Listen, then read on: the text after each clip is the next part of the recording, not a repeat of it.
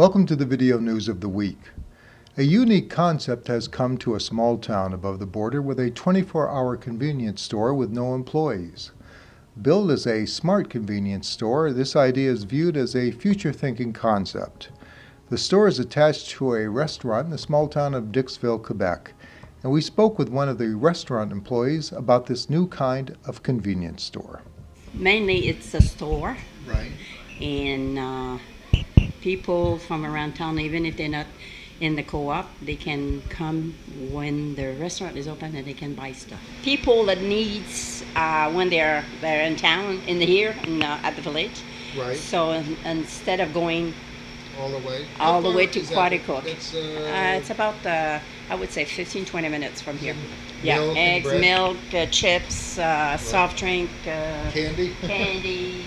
Uh, they have frozen stuff here, Yeah. frozen vegetables and bread.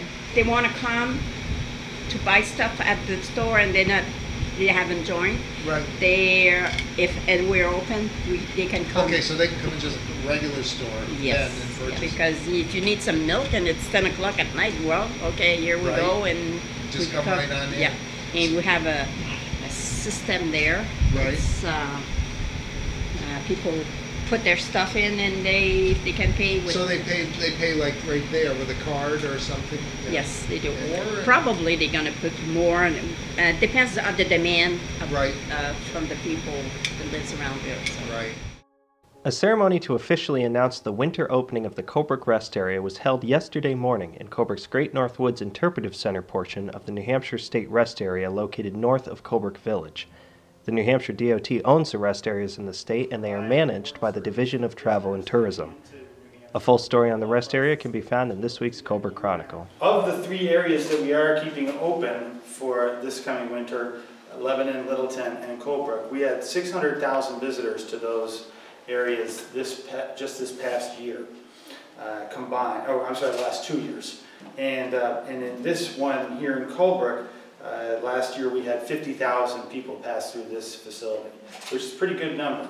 Uh, and we're pretty happy with that. And in fact, that's a 20% increase over the previous year. It's really important to point out that this couldn't have happened without the strong support of the members of the, of the legislature that are here today, because it's really them that put through the uh, ability and the resources to be able to keep these important rest areas and welcome centers open across across the state now, seven days a week. So This is great day for us, and we have a lot of, I mean, to be mentioned with Littleton and Lebanon, to be recognized, to see the North Country becoming part of all these initiatives, all right? And to have Colebrook, what a gem the state has here. Colebrook has been very fortunate with a lot of things that were being recognized through DOT, through initiatives like here in this rest area.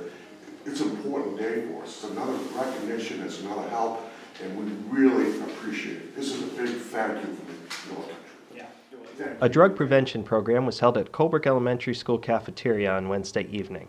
Titled Resiliency in Our Backyard, the goal was to gather community members to discuss ideas on substance misuse prevention, treatment, and recovery.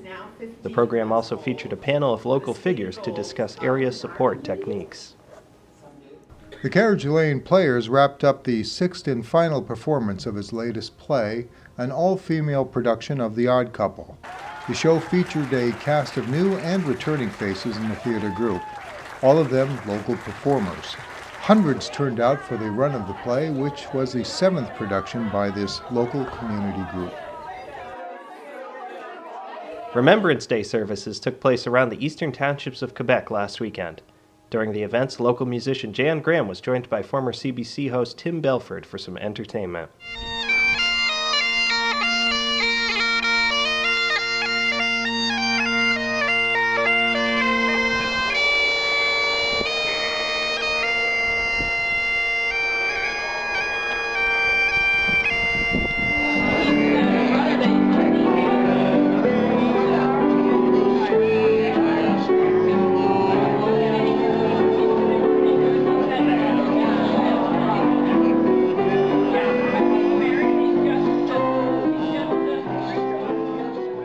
Acclaimed folk singer Tracy Grammer came to the Colebrook Country Club last Friday for a performance sponsored by the Great Northwoods Committee for the Arts.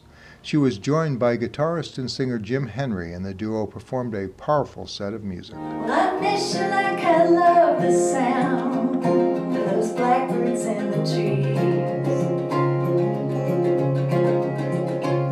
And I sit alone and wish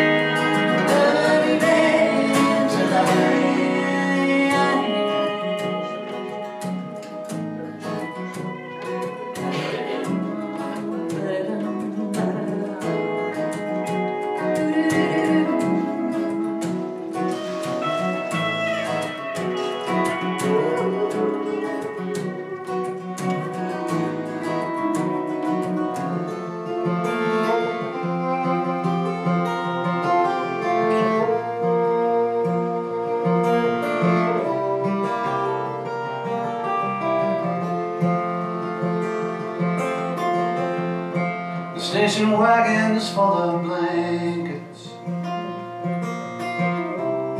And Dad's whistle whistling a tune. He won't tell us where we're going. He smiles and says we'll be there soon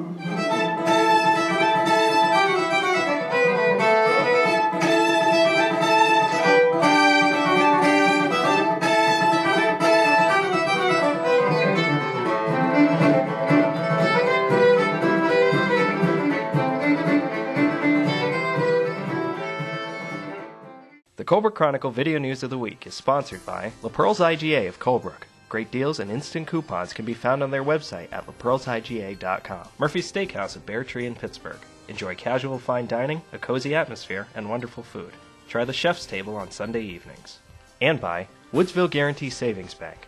Friendly local people, friendly local bank. And open seven days a week inside Lancaster Shaw's. Expect snow in the early part of the weekend, with Friday temps reaching a high of 30 and Saturday hitting a high of 38. Sunday turns to rain with a high of 38 and a low of 16 degrees. Thank you for watching the video news of the week.